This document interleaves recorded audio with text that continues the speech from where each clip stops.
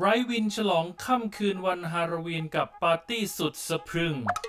ศูนย์การค้าสยามพารากอนนะครับ ตอกย้ำความเป็น world class shopping destination มอบประสบการณ์ความสนุกสุดสะพรึงด้วยปาร์ตี้เขย่าความฟิน ในงานสยามพารากอน Black Weekend Carnival ร่ายมนต์สะกดทุกพื้นที่ฉลองเทศกาลวันปล่อยผีนานาชาติ ตลอดสุดสัปดาห์นะครับ ระหว่างวันที่ 30 ตุลาคมถึง 1 พฤศจิกายนณ Parc Paragon ชั้น M ศูนย์การค้าสยามพารากอนนั่นเองนะฮะ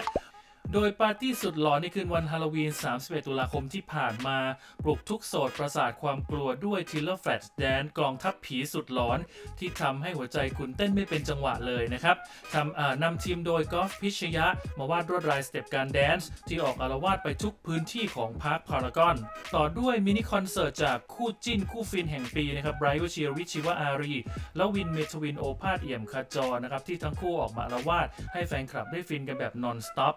ก่อนจะส่งท้ายความมันในวันอาทิตย์ที่ 1 พฤศจิกายนนะครับกับมินิคอนเสิร์ตจากศิลปินหนุ่มมาดกวน ว่านธนกิจนะฮะรวมไปถึงได้ฟินกับคู่จิ้นสุด real อย่างมีนพีรวิชญ์และแปลนรัฐวิทย์อีกด้วยนะครับ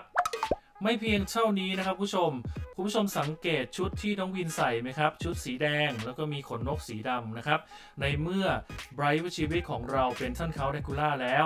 แล้วน้องวินล่ะ จะเป็นนกอะไร ทำไมถึงต้องมาคู่กันกับท่านเคานต์แดรกคูลานะฮะ ผมมีคำตอบครับ โดยชุดของน้องวินนะครับ คาดว่าได้คอนเซปต์มาจากนกแก้ว Pesquet's นะครับหรือนกแก้วแดรกคูลานั่นเอง ซึ่งนกชนิดนี้นะครับเป็นนกตัวใหญ่ที่มีขนสีแดง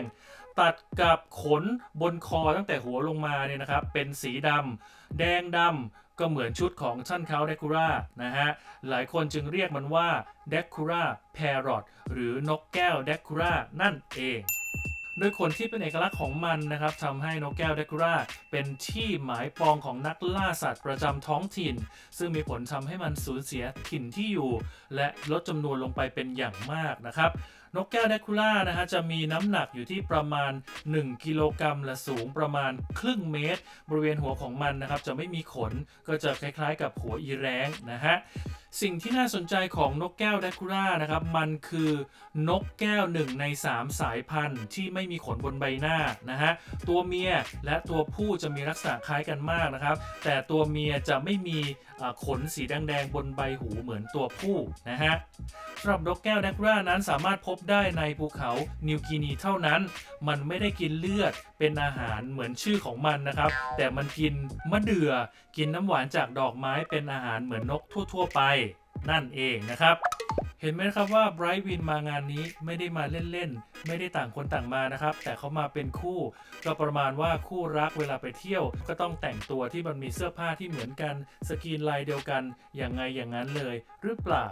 ขอขอบคุณข้อมูลดีๆ จากไทยโพสต์และ e p a p a f i n com และขอขอบคุณทุกท่านที่ติดตามแล้วเจอกันใหม่ในคลิปหน้านะครับ สวัสดีครับ